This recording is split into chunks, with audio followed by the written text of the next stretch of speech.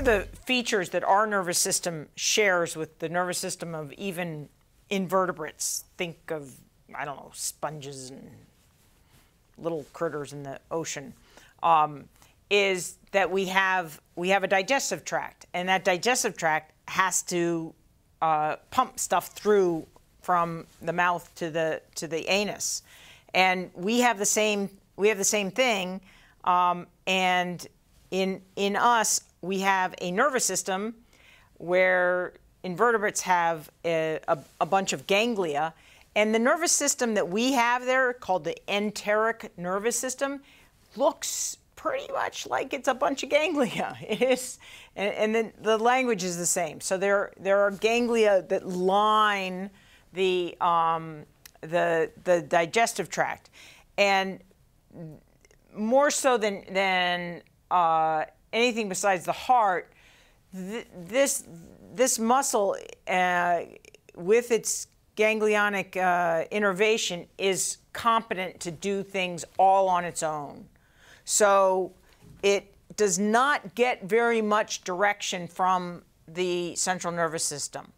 So the central nervous system does project to the enteric nervous system, but very, very little bit, whereas it gets information back from the enteric nervous system a lot. So we're getting sensory information back from the enteric nervous system, but we are not directing it. This is a when when when the the idea of autonomics being an automatic type of uh, nervous control was first described, it's really with this in mind, with the enteric nervous system in mind, which is the enteric nervous system is so competent on its own, divorced from the CNS.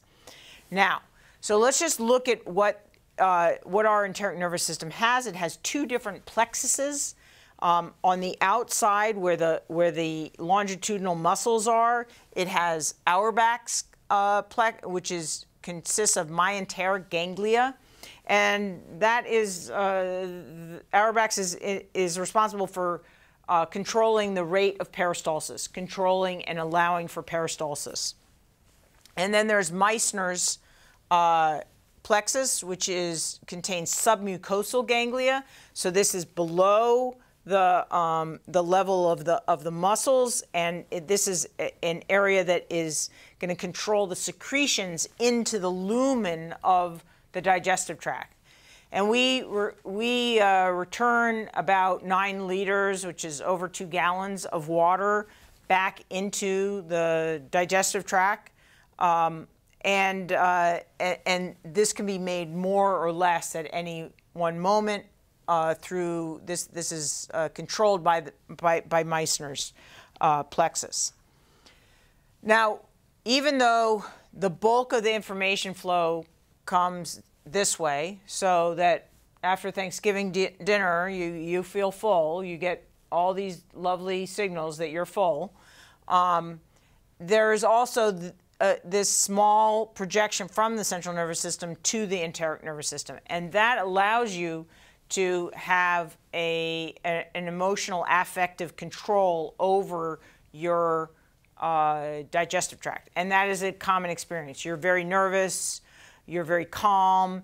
Well, your digestive tract uh, will reflect that. And so the, um, the interaction between the control of the digestive tract and, and central um, uh, emotional state is, is very uh, compelling, and there is huge comorbidity between problems of digestion and um, problems uh, and emotional problems such as anxiety. Okay. Um, I, I, we're going to look at two, uh, only two features of the enteric nervous system right now. Uh, the first is uh, a type of cell, as you, as you may have heard, the bulk of the serotonin in the body is found in the gut. Um, uh, and uh, the, these enterochromaffin cells are one of the types of cells. There are many different types of cells in the enteric nervous system, and they release serotonin. And the, and the serotonin is going to increase the rate of peristalsis, so it's going to keep things flowing through. Um, uh, and imagine what happens if you take an SSRI. So an SSRI is going to block uh, serotonin um, reuptake, and as a result, uh, there's uh, there's there's a higher level of, of serotonin released or higher level serotonin effective and uh, available for neurotransmission, and this will increase the rate of peristalsis. Eventually, that effect may reverse, and so what people may experience is an initial response uh, uh, to SSRIs of diarrhea, and eventually um, that may change either to uh, normal or to constipation.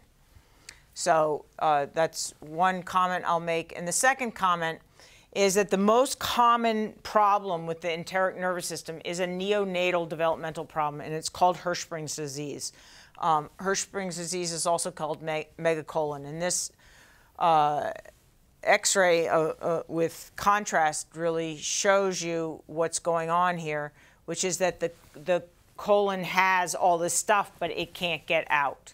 Okay, so there, this is a if if there is no enteric nervous system, there's no peristalsis. Everything stops. It's paralyzed.